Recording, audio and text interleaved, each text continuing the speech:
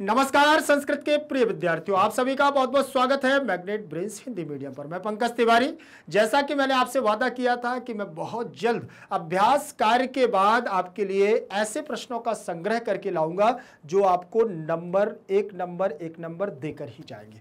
परीक्षा में एमसीक्यूज आपको सबसे पहले मिलते हैं तो वो एमसीक्यूज एक प्रश्न रहेगा, उसके चार आपको ऑप्शन मिलेंगे, उनमें से एक ऑप्शन को आपको टिक करना होता है।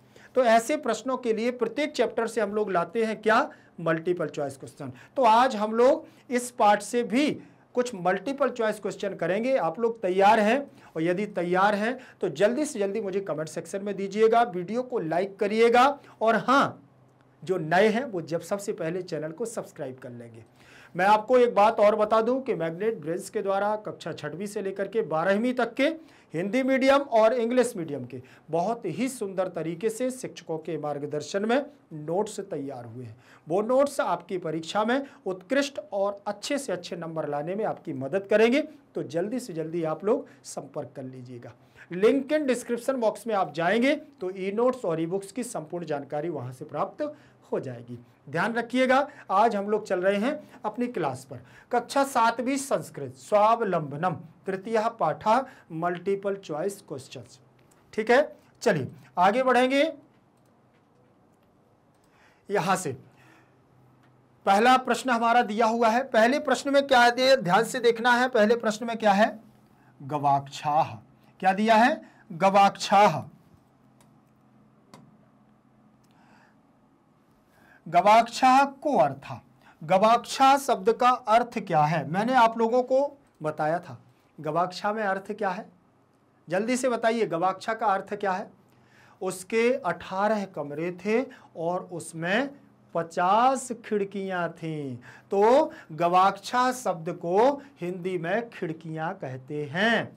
ठीक? या झरोखा। तो ऐसा यहाँ पर देखें, कुछ आपको मिल रहा है क्या? दरवाजे। अलमारी, खिड़कियाँ, कमरा। जल्दी से बताइए, गवाक्षा को हम लोग क्या कहते हैं? जल्दी से, आप लोग ऑप्शन में जल्दी से मुझे दीजिएगा। A one two three four के रूप में आप लोग दे सकते हैं हैं? और या फिर काखा गा, घा, ए, बी, सी, डी, ऐसे भी आप दे सकते हैं आंसर में। अर्थात गवाक्षा को क्या कहते हैं? खिड़कियाँ।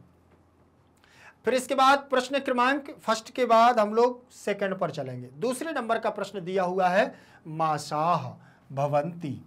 माशाह भवंती, मास होते हैं। कितने होते हैं? एक साल में कितने महीने होते हैं? बताएँगे? एक साल में महीने कितने होते हैं? मैं तो नहीं बताने वाला।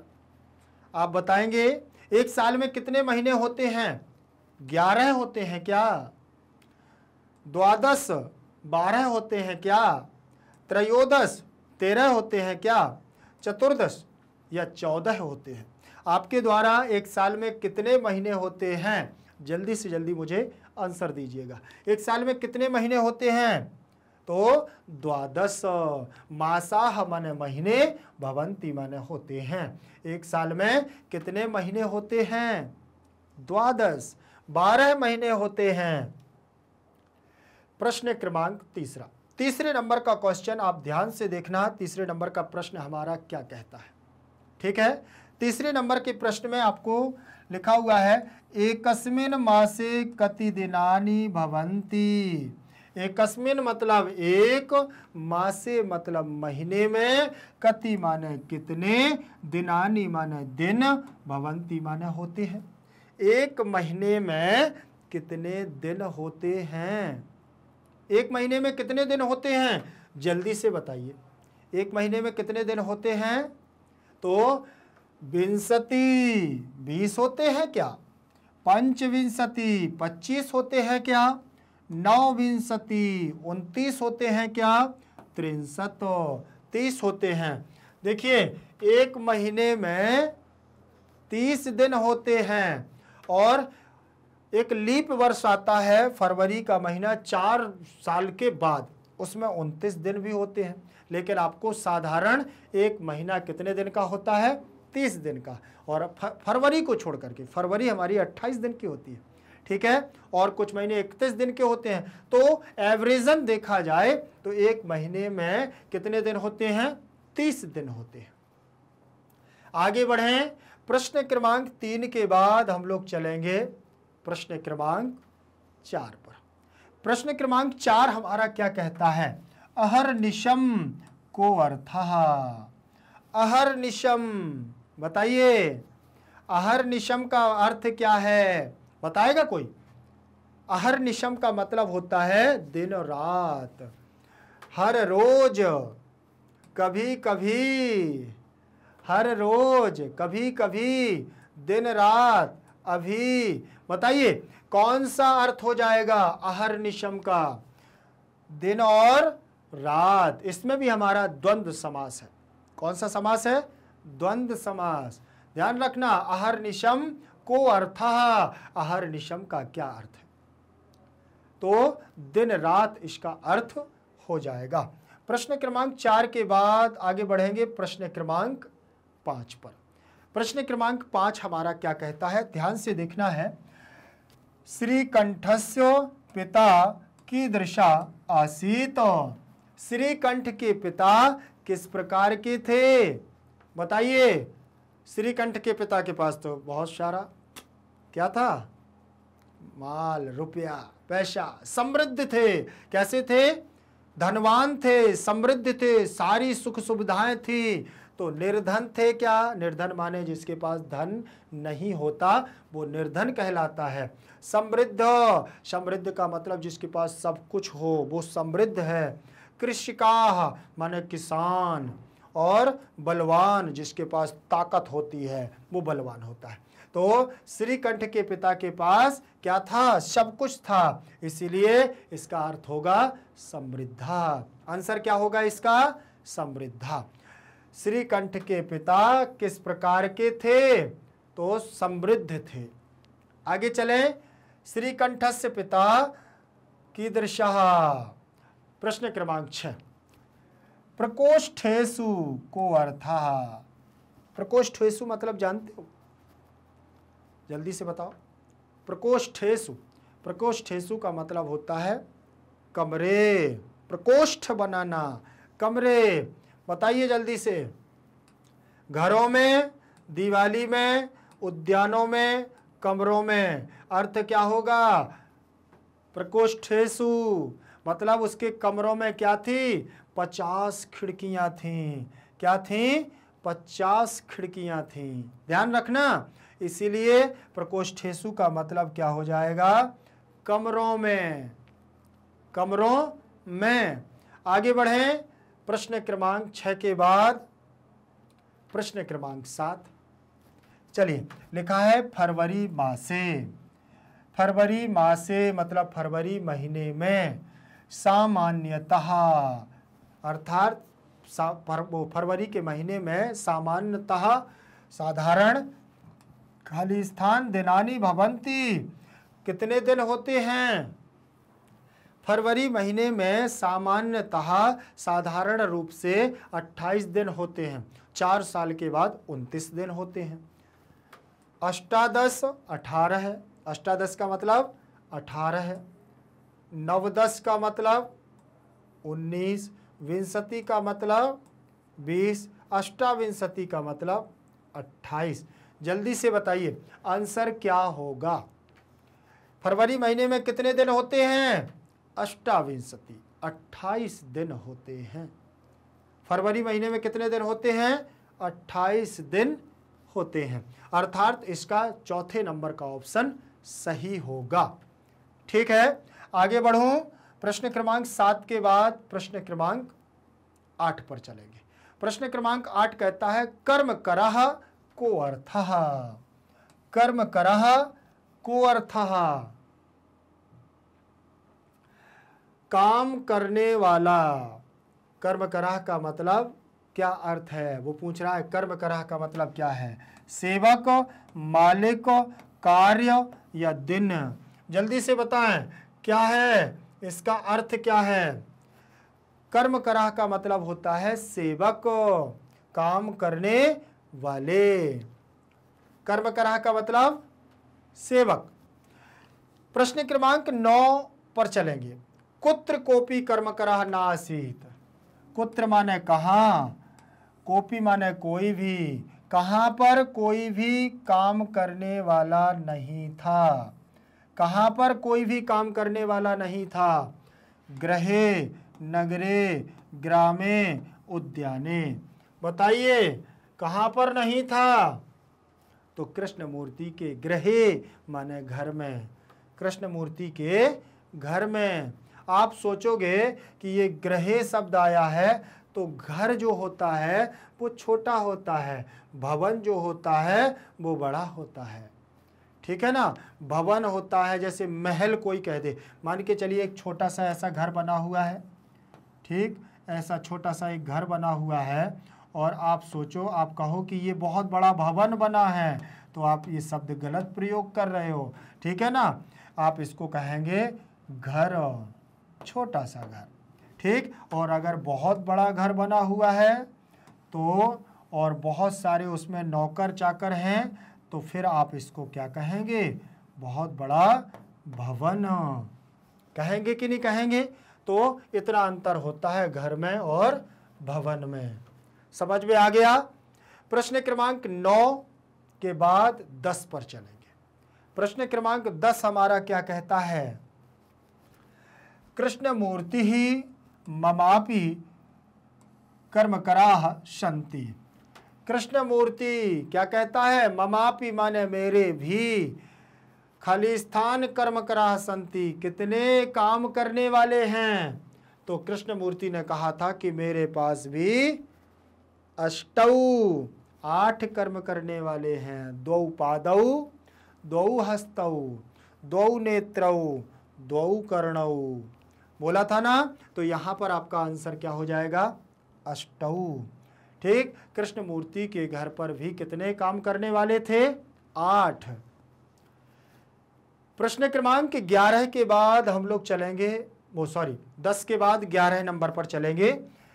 कस्य वास गृहम आडंबर विहीना साधारणचा आसीत। किसका निवास घर वास ग्रहम का मतलब निवास घर। किसका जो घर था? किसका घर आडंबर विहीन था? अर्थात जिसमें कोई दिखावा नहीं था, जिसमें कुछ भी नहीं था, साधारण था और साधारण आसित माने था। किसका घर था ऐसा? जो बिल्कुल साधारण था और उसके यहाँ कोई भी दिखावा नहीं था। ना नौकर थे, ना गाड़ी थे, ना पंखे थे, ना ज़्यादा, ठीक है ना? ना बहुत बड़ा खंभे थे, बहुत बड़े बड़े किसके घर में? श्रीकंठ के, कृष्णमूर्ति के, समृद्धस्य, समृद्ध के या निर्धनस्य, निर्धन के? बताइए कृष्ण मूर्ति के घर पर ना तो आडंबर था और ना कुछ था, बिल्कुल साधारण घर था। किसका घर? कृष्ण मूर्ति है। कृष्ण मूर्ति का घर। ग्यारह के बाद बारह नंबर के प्रश्न पर चलेंगे। बारह नंबर का प्रश्न क्या कहता है? कृष्ण मूर्ति माता, पिता, कस्य आतिथ्यम अकुर्वन। कृष्ण मूर्ति के माता और पिता, किसके स्वागत, किसका स्वागत करते हैं? जल्दी से बताएँ। कृष्ण मूर्ति के माता पिता किसका स्वागत करते हैं? उसके दोस्त श्रीकंठ का। किसका? श्रीकंठ का स्वागत करते हैं। बारह नंबर के बाद हम लोग चलेंगे तेरह नंबर के प्रश्न पर। तेरह नंबर का प्रश्न क्या कहता आप लोग कमेंट में दे रहे हो ना? जल्दी से। और दोस्तों से भी पूछ लो ना। जल्दी से शेयर करके। उनसे भी पूछो। शेयर करते जाओ। उनसे पूछो कि जरा इसका आंसर तो बताओ। ठीक है? फिर यहाँ देखें, तेरह नंबर का प्रश्न, कस्य भवने? किसके भवन में सर्व विधानी माने सब प्रकार की सुख साधनानी माने सुख साधन आसन मतलब थे? किसके घर पर सब प्रकार के सुख साधन थे? किसके घर पर थे? तो श्रीकंठ के घर पर सब प्रकार के सुख साधन थे। श्रीकंठस्य। श्रीकंठ के घर पर सब प्रकार के सुख साधन थे। ठीक है? आगे बढ़ू। चलिए, इसके बाद प्रश्न क्रमांक तेरह के बाद हम लोग चलेंगे प्रश्न क्रमांक चौदह पर। चौदह नंबर का प्रश्न देखेंगे, लिखा हुआ है सर्वदा कुत्र सुखम? हमेशा कहाँ पर सुख मिलता है? जो व्यक्ति अपना कार्य स्वयं करता है, उसको हमेशा सुख मिलता है।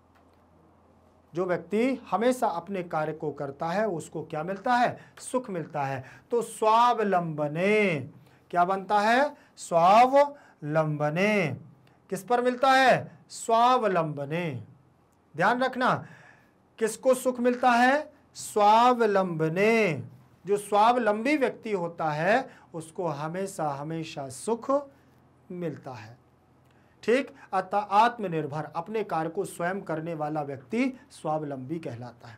ठीक, प्रश्न क्रमांक चौदह के बाद हम लोग आगे बढ़ेंगे पंद्रह नंबर पर। पंद्रह नंबर का प्रश्न हमारा क्या कहता है? कस्य अष्ट कर्म कराह संति, किसके आठ सेवक थे? किसके आठ सेवक हैं? थे नहीं, संति मतलब हैं। ठीक, किसके आठ सेवक हैं? काम करने वाले कृष्ण मूर्ति के आठ सेवक हैं। कौन कौन पैर, हाथ, आँख, कान। किसके हैं? कृष्ण मूर्ति किसके हैं? कृष्ण मूर्ति है। उसके घर पर नहीं है, वो तो उसके साथ में ही रहते हैं। इसलिए ये वाला क्वेश्चन ये वाला ऑप्शन नहीं होगा। ठीक है ना? कृष्ण मूर्ति के आठ काम करने वाले हैं। उसके घर पर होते अगर तो ये वाला ऑप्शन आ जाता। ठीक है? चलिए, प्रश्न क्रमांक पंद्रह के बाद हम लोग चलेंगे सोलह नंबर पर। सोलह नंबर का प्रश्न हमारा क्या कहता है? लिखा हुआ है, ग्यारह बज करके तीस मिनट। क्या लिखा हुआ है? ग्यारह बज करके तीस मिनट। बताया था। जब सॉल्यूशन आपको करवाया था, अभ्यास कार्य जब करवाया था, तब मैंने आपको बताया था। कि जब भी एक घड़ी होती है, जैसे ये बनी ना आपकी एक घड़ी, ये लिखा हुआ है बारह, यहाँ लिखा हुआ है छः, यहाँ होगा तीन और यहाँ होगा नौ, यहाँ एक, यहाँ दो, यहाँ चार, यहाँ पाँच, यहाँ सात, यहाँ आठ, यहाँ दस, यहाँ ग्यारह। ऐसे चलती है ना हमारी घड़ी, ठीक? एक हमारी बड़ी सुई रहती है, एक हमारी छोटी रहती है, ठीक? और एक हमारा क्या रहता है? कांटा रहता है सेकंड वाला। क्या रहता है? सेकंड वाला रहता है कांटा। ऐसे।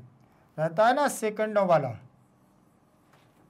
एक सेकंड वाला हमारा क्या रहता है? कांटा रहता है। ठीक?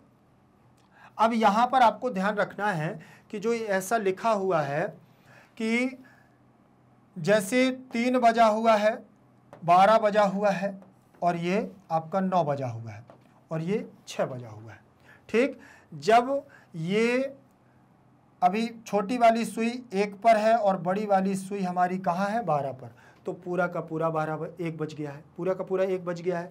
लेकिन यही बड़ी वाली सुई अगर हमारी छः पर आ जाए तो फिर हम क्या कहेंगे? तब हम क्या कहेंगे? सार्ध। क्या कहेंगे? सार्ध एक बादनम। सार्ध एक बादनम। ठीक है? तो इसको जब छह पर आती है सुई तो इसको बोलते हैं सार्ध। सार्ध। ठीक है ना? हमेशा जोड़ना है। जब साढ़े बजे हो, जैसे साढ़े पाँच, साढ़े चार, साढ़े तीन बजे हो तो आपको हमेशा जोड़ना है। सार्ध त्रिवादने, सार्ध चतुर्वादने, सार्ध पंचवादने, सार्ध एकादश वादने ऐसा करना है। लेकिन यदि यही बड़ी सुई तीन पर हो तो आपको जोड़ना है सपाद। जैसे आपके तीन बज करके पंद्रह मिनट लिखे हुए हैं तो आप कहोगे सपाद त्रिवादने। तीन बज करके पंद्रह मिनट, ठीक है? और यहाँ पर लिखे हुए, अगर वही बड़ी सुई आपकी नौ पर पहुँच जाए तो यहाँ कहते हैं पादौन क्या कहते हैं? पादौन तो इसको कहेंगे हम, जैसे नौ बजने, दस बजने में आपका पंद्रह मिनट बाकी है तो आप कहोगे पादौन दस वादनम। क्या कहोगे? पादौन दस वादनम। समझ में आ गया ना? और यहाँ तो आपका पूर्ण सीधा वादनम होता है। तो इन तीन चीज़ों को आपको याद रखना है तो आपको सारी चीज़ें समझ में आए। दोबारा इसलिए बता दिया है, जिससे कि आपको भूले ना। अब यहाँ पर जैसे ये लिखा हुआ है, ग्यारह। तो ग्यारह आप इसमें बजा के देख लीजिए। ये आपकी यहाँ छोटी वाली सुई आपकी आ जाएगी, यहाँ, और ये बड़ी वाली सुई आपकी आ जाएगी छः पर। और ये देखो ये आ गई है बड़ी वाली सुई और ये आपका यहाँ आ रहा है क्या? ये आपका सेकंड वाला कांटा यहाँ आ गया। ये सेकंड वाला कांटा। है अब ये बच चुका है आपकी घड़ी में। बच गए हैं ना? ये घड़ी में आपके बच चुके हैं। मतलब जो यहाँ पर लिखे हुए हैं। तो आप, मैंने आपसे कहा था ना कि बड़ी वाली सुई अगर छः पर है तो क्या लिखते हैं? सार्ध। तो यहाँ पर लिखेंगे सार्ध। क्या लिखेंगे? सार्ध और कितने हैं? ग्यारह। तो आपको कुछ नहीं करना है, यहाँ पर एकादश लिख देना है। सार्ध एकादश। लिख दिया, सार्ध एकादश। तो यहाँ पर कहीं लिखा हुआ है, सार्ध द्वादश वादनम, सार्ध एकादश वादनम और अर्ध एकादश वादनम, सार्ध एकादश वादनम या साधयिक दस वादनम, या इनमें से कोई नहीं। अब आप देख लीजिए, सार्ध एकादश बाधनम। तो तीसरे नंबर का ऑप्शन राइट हो जाएगा। इसमें लिखा है ना, सार्ध एकादश बाधनम। या आप ऐसे लिख सकते हैं साधई कदश बाधनम। ये थोड़ा संधि से जोड़ दिया गया है, लेकिन आप ऐसे लिख दोगे तो भी आपका चल जाएगा। समझ में आ गया ना? सार्धक एकादश बाधनम। बिल्कुल ऐसे आपको आपको टाइम बहुत कई बार पूछा जाएगा तो इनको आपको सबको क्या करना है? सॉल्व करना है और तभी आप इनको क्या है? परीक्षा में भी कर पाओगे। चलिए, इसका आंसर आपने देख लिया। आपका आंसर क्या हो जाएगा यहाँ? गा नंबर का। किस किस ने आंसर को सही किया? इसके बाद प्रश्न क्रमांक हमारा सत्रह नंबर का होगा। इसमें लिखा हुआ है, देखो, चार बजा हुआ है। क्या बजा हुआ है? चार बजा हुआ है। चलो भैया, अब फिर से आप घड़ी के पास चलना है तो मैं दोबारा तो बनाऊँगा नहीं। मैंने फिर से वही कर लिया है। चलिए, ये आ गया है। बस, आपके लिए इतनी ज़रूरत थी तो आप इसको देख लीजिए। ये आपकी घड़ी आ गई ना? अब ये घड़ी आ गई है, अब आपको यहाँ से ये। दोबारा से मैंने आपको वही घड़ी दिखा दी है, यहाँ पर लिखा हुआ है चार। लिखा है कि नहीं? अब यहाँ से आप जब इसको चार बजाओगे तो ये देखिए, ये छोटी वाली सुई जो आपकी दी हुई है, क्या? ये छोटी वाली सुई। देखिए, आपकी कहाँ जाएगी छोटी वाली सुई? चार के पास जाएगी। जाएगी कि नहीं जाएगी? और ये बड़ी वाली सुई आपकी कहाँ जाएगी? बड़ी वाली सुई बारह के पास जाएगी। जाएगी, तभी तो आप चार बजाओगे। और ये जो आपका सेकंड वाला कांटा है इसको भी तो आपको सेटल करना पड़ेगा। कहाँ करोगे? लेकिन भैया, वो तो दिखेगा ही नहीं, कह दो। ये रहेगा आपका सेकंड वाला और यही रहेगा आपका बड़ा वाला। मतलब आपको देखना नहीं है। बिल्कुल नहीं देखना है, इसी में छिप गया है वो। तभी तो चार बजे कह कहलाएँगे। एक भी सेकंड आगे पीछे नहीं। देखो यहाँ चार बजा हुआ है। एक भी मिनट नहीं है ना? चलिए, अब यहाँ पर सीधे सीधे आप करोगे तो चतवारी वादनम होगा, कि चतुर्वादनम होगा, कि चतुर्वादनम होगा, ठीक? और कि इनमें से कोई नहीं। बताइए जल्दी से, ये चरतुवादनम लिखा है, ये चतुर्वादनम लिखा है, ये चतवारी वादनम लिखा है। कौन सा सही होगा? तो देखो, ये चरतुवादनम तो होता नहीं है तो ये तो कट जाएगा। ये भी कट जाएगा। तो आपके पास अब फिफ्टी फिफ्टी लाइफ लाइन बची हुई है। कौन बनेगा? करोड़पति में मिलती है ना? तो दो आपके पास है। अब दो में से आपको यहाँ पर ऑप्शन सही करना है। तो इसके लिए मैं आपको बता दूँ कि जो आप लोग ये देख रहे हैं ना चतवारी ये चतवारी जो है, एक से लेकर के हमारी चार तक की संख्याओं के रूप चलते हैं। पुल्लिंग, स्त्रीलिंग, नपुंसक लिंग। एक वचन द्विवचन बहुवचन। ऐसे रूप चलते हैं। तो ये नपुंसक लिंग का रूप है चतवारी। इसीलिए आपका ऑप्शन नंबर दो सही माना जाएगा। ये भी आपका गलत हो जाएगा। समझ में आ गया ना? ये आपका नपुंसक लिंग का है चतवारी। जब संख्याओं में लिखते हैं, तब आपको चतवारी लिखना है। कहीं पर, ज़रूरत पर। ठीक है ना? नहीं तो हम सीधे सीधे चतुह लिखते हैं। कैसे लिखते हैं? चतुहु ऐसे लिखते हैं। चतुहु बादनम ऐसे लिख देते हैं। अब यहाँ पर तो आप कहोगे कि, सर, विसर्ग कहीं लिखा नहीं है। आपने ऐसे विसर्ग क्यों लिख दिया? तो आपको बता दूँ, ये जो रा की रकार लगी है ना इसके ऊपर, ये विसर्ग के कारण ही आई है। यहाँ पर रा आ जाता है, लेकिन जब इसको जोड़ते हैं तो ये रा हमारा ऊपर चला जाता है। अब इसको जोड़ दो आप, और जब इसको जोड़ोगे तो देखना वैसे ही बन जाएगा। बिल्कुल बना कि नहीं बना? देखो, जोड़ दिया मैंने। जोड़ा, बना कि नहीं बना? तब देखिए, साधारणतः अगर हम कोई भी चीज़ देखते हैं, हर चीज़ का एक कुछ ना कुछ तरीका होता है। ठीक, अगर हम लोग सीखेंगे तो बनेगा। अभी हमारी सीखने की क्या है? अभी हम सीख सकते हैं। और आप नाइन्थ, टेंथ में पहुंचोगे, फिर आपका मन भटकने लगेगा, फिर आप सीख नहीं पाओगे। Six class seventh class eighth class तक ही हम बहुत अच्छे से कोई चीज़ सीख सकते हैं। यहाँ पर आपको ये समझ में आ गया। ठीक? मैंने आपको दो दो क्वेश्चन ऐसे बताए हैं जो आपके कौन से थे? समय सूचक थे। समय बताने वाले थे। एक हमने बताया है साढ़े ग्यारह बजे वाला और एक बताया है आपको चार बजने वाला। इसके बाद अगर कोई हो, फिर बाद में इसको हम मिटाएँगे। पहले देख लें, अगर और कोई क्वेश्चन अगर और होगा हाँ बिल्कुल है। तीन बजने वाला आ गया है तो फिर से हमें घड़ी में तीन बजाना पड़ेगा।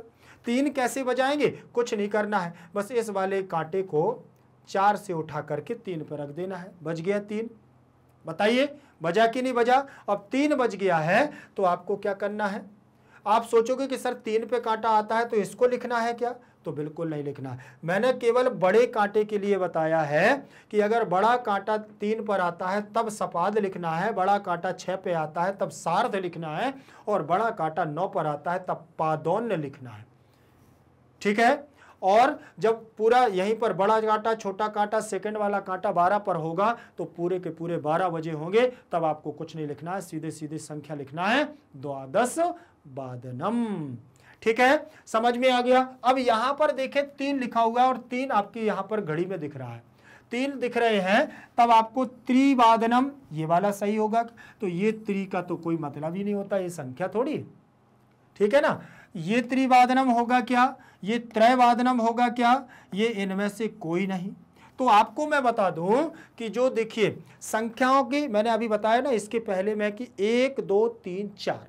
चार तक की संख्याओं के चलते हैं रूप। क्या चलते हैं? रूप। एक वचन द्विवचन बहुवचन में। ठीक? जैसे मान के चलिए आपको किसी लकड़ी की गणना करना है तो आप कहेंगे एकम। कहेंगे ना? एकम। और जैसे अगर किसी लड़के की गिनती करना है तो एक। करना पड़ेगा ना?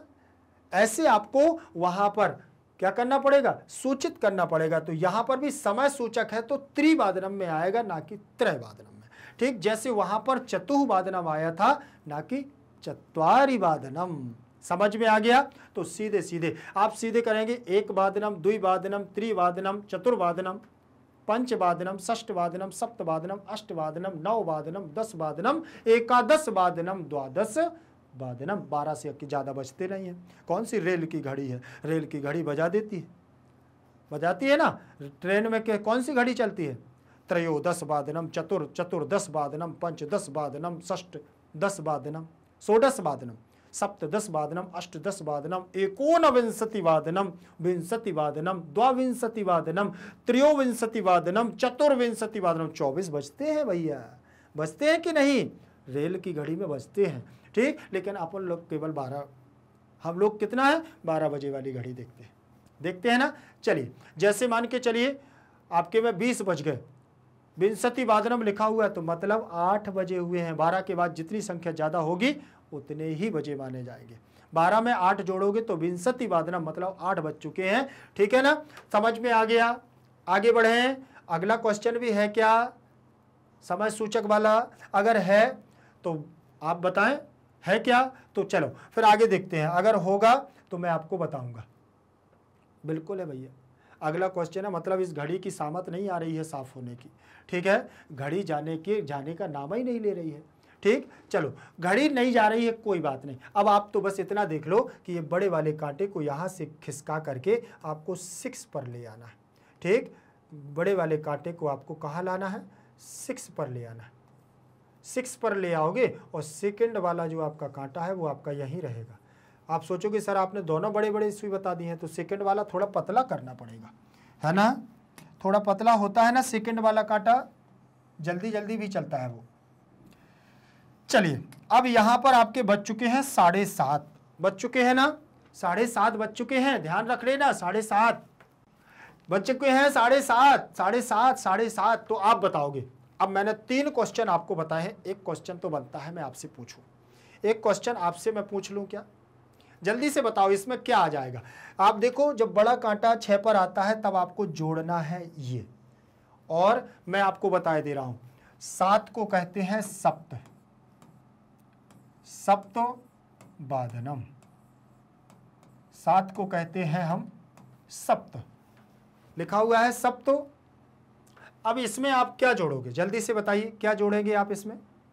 सप्त में क्या जोड़ दोगे? अर्ध सप्तवादनम सार्ध सप्तवादन, सार्ध सप्तवादनम, या इनमें से कोई नहीं। कौन सा आंसर आपके द्वारा होगा? बताएँगे क्या? जल्दी से बताएँगे क्या? कौन सा होगा? आंसर दीजिए जल्दी से। चलो, अब आंसर आपको कुछ नहीं देना है। आपका तीसरे नंबर का आंसर बिल्कुल राइट हो जाएगा। तीसरे नंबर का आंसर आपका राइट हो जाएगा। ठीक है? आपको समझ में आ गया होगा। मेरा मतलब था कि आपको क्वेश्चन बनने चाहिए। ठीक? बस। प्रश्न क्रमांक 20 फिर भैया, फिर से आपका समय सूचक आ गया। ठीक? तो यहाँ पर आपका डेढ़ बजा हुआ है। क्या बजा हुआ है? डेढ़ बजा हुआ है। क्या बजा है? एक बज करके तीस मिनट। तो यहाँ पर क्या करेंगे आप? एक को उठा, छोटे वाले कांटे को उठाएँगे। यहाँ लिख देंगे बस। ये बच चुका है। क्या बच चुका है? डेढ़ बज चुका है। अब सेकेंड वाला कांटा आपका कहाँ आएगा? सिक्स के पास। आएगा ना? डेढ़ बजा हुआ है। चलिए। डेढ़ बजा हुआ है। अब डेढ़ को फिर से आप कैसे कहेंगे? तो इसमें भी आपको सार्ध जोड़ना है तो यहाँ पर आपको क्या कर देना है? एक। क्या करना है? एक। जोड़ दिया। अब आप क्या जोड़ेंगे? सार्ध ऐक वादनम, सार्ध एक वादनम या सार्धिक वादनम या सार्ध कवाक वादनम इनमें से कोई नहीं। ऑप्शन कौन सा आपके द्वारा सही होगा आपको यहाँ पर सुनिश्चित करना है। जल्दी से जल्दी आप लोग बताइएगा कौन सा ऑप्शन आपके द्वारा यहाँ से सही माना जाएगा। जल्दी से क्लिक करिएगा, फिर हम लोग आगे बढ़ते हैं। इसका आंसर आप लोगों ने देख लिया है। दूसरे नंबर का आंसर आपका इसमें भी सही हो जाएगा। दूसरे नंबर का आंसर देखिएगा। देखिए, बहुत सारी चीज़ें ऐसी होती हैं कि जब हम लोगों को करनी होती हैं और हम लोग देखते हैं कि कौन सा ऑप्शन करें, कौन सा ना करें, कौन सा करना चाहिए तो इन सारी चीज़ों को आपको ध्यान में रखना होगा। चलिए, आगे देखेंगे इसके बाद।